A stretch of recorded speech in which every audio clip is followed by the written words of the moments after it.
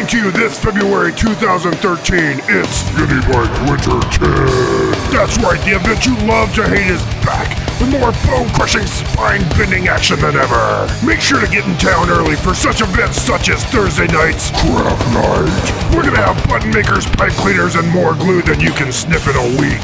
Want to ride to some random bridge off 82nd? You are in luck because the dropout ride is Friday night. Get drunk, get lost, and cry your way home. The next morning, you better bitch slap that hangover because Saturday, Saturday, Saturday, it's Chariot Wars.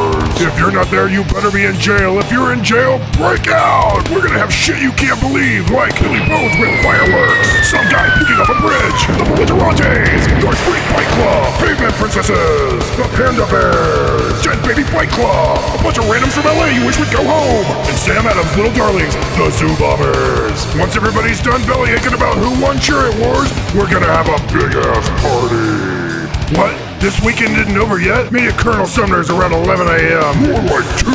You're gonna find a bunch of idiots doing stupid shit on bikes for about four hours until they get too cold and go home. Do you want dysentery? Do you want staph? Do you want MRSA? Come one, come all down to the river for the Cupcake Challenge. Sunday's not over yet though. Come down to the city-funded Zoobomb Pile, head up on the MAX, and ride down the hill. So make your way to Portland in February for Mini Bike Winter. Don't miss it.